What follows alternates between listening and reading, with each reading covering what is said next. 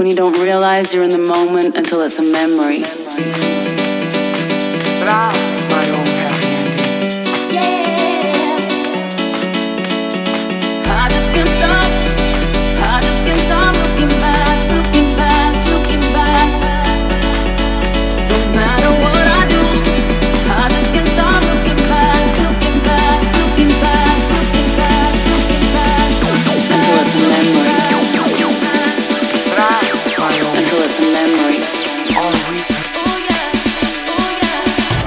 Oh yeah. Oh no.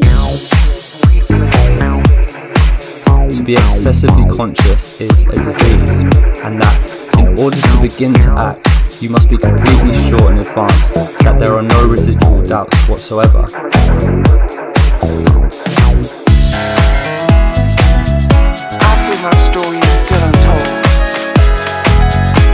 I feel my story is still untold.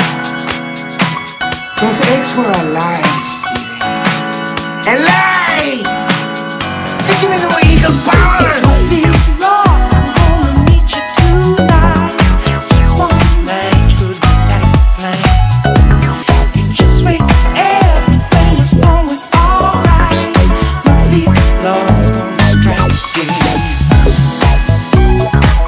What was your favorite dish in Oaxaca? Did you like the food very well in Oaxaca?